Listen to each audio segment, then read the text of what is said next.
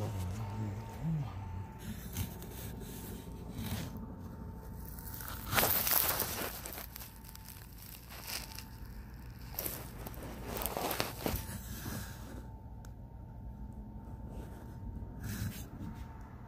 Oh.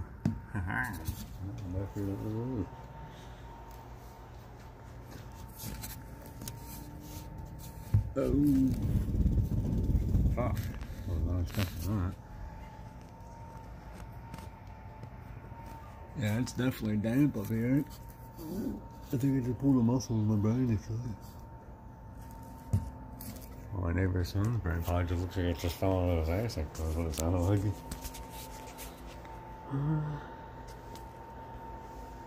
Don't act like I'm not impressed by these motherfucking shoes, though.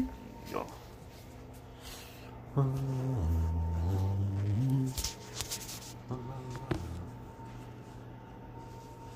Mm.